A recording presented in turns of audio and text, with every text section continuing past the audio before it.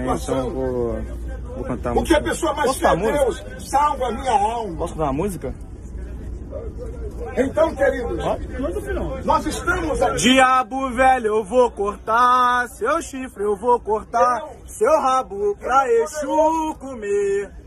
Da tua língua eu vou fazer chicote pra bater nas costas de quem fala mal de mim. Fala mal de mim, mas não fala por detrás. Fala mal de mim, mas não fala por detrás. Oi, quebra ele, padilha.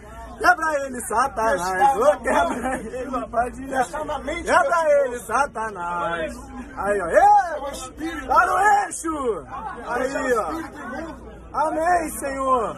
Tô perdido.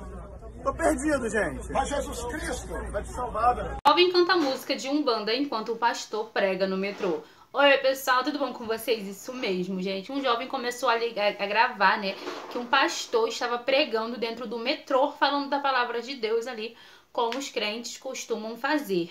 Então ele se sentiu, é, podemos dizer, incomodado, não sei se essa é a palavra correta, mas enfim, ele decidiu começar a cantar a música da sua religião, já que o pastor crente estava pregando, falando da religião dele, ele decidiu cantar, né, a religião dele ali, uma música da religião dele, tá dividindo bastante opiniões. Eu vou colocar aqui agora pra vocês assistirem e vocês comentem aqui embaixo a opinião de vocês. Então vou, vou cantar a música. pessoa mais Posso fiel a cantar uma música? Deus salva a minha alma. Posso cantar uma música?